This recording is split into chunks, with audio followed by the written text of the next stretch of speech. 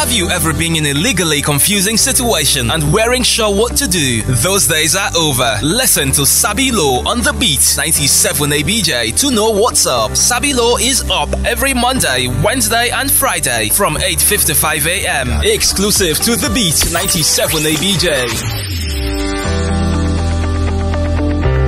Hello, Abuja. Our Sabi Law tip on the beat today is for a litigant who intends to oppose a motion in a matter. Now, this may sound a bit technical. Who is a litigant? And what does it mean to oppose a motion? A litigant is simply any any person, anybody that has a matter before the court. Not the lawyers. Now, the litigants are the people who own the cases. You that is taking someone to court, or you that they have taken to court, or that brought before a court. Now, every litigant that intends to oppose a, a motion, a motion is is a request. A motion is what you're asking the court to do for you. You don't just come and talk to the court. You talk to the court in terms of motion. So any any litigant who intends to oppose a motion before a high court in the FC in Abuja, you have seven days from the day of receipt of such a motion to file your counter affidavit and written address. From the beginning, it was not so.